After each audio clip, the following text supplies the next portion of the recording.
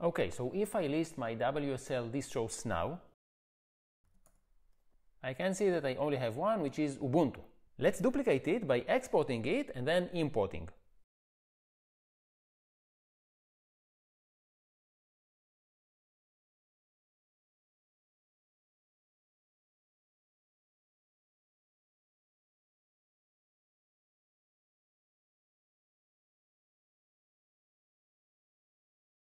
And let's list uh, our distros now. And you can see that we now have Ubuntu 2, which is basically a clone of Ubuntu.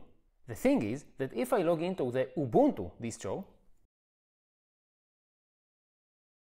I'm logged in as Matan, which is my name and user.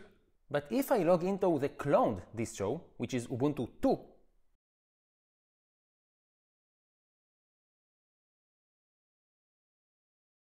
we can see that I'm logged in as root. So instead of my user, it uses root. Now, of course, I can switch user to my user. And now I am logged in as my user, but the next time I log out from this distro and log in again, I will be logged in as root again. So how do we change it permanently? Luckily, it's really easy. All we need to do is edit the WSL configuration file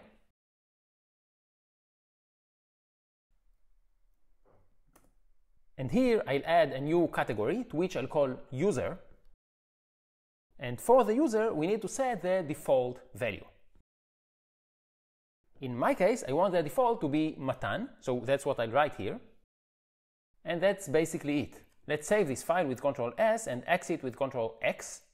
And if we now exit from this distro and terminate this distro for this change to take effect, we can log in back into the distro. And as you can see, I was logged in with my username and not as root.